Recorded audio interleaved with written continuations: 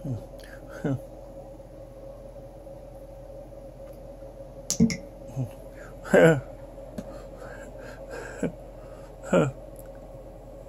this is Dan Dan Radio Man.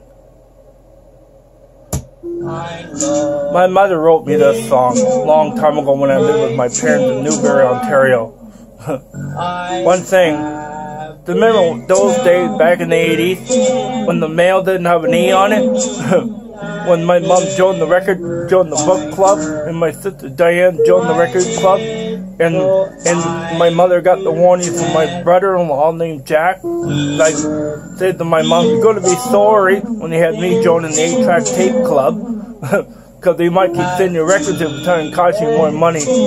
I know the funniest thing about Google Play Store is got a dating ad in the Google Play Store. Just beware when they when come to writing your own Irish song or your mother writing your an Irish song like like like like my mom did.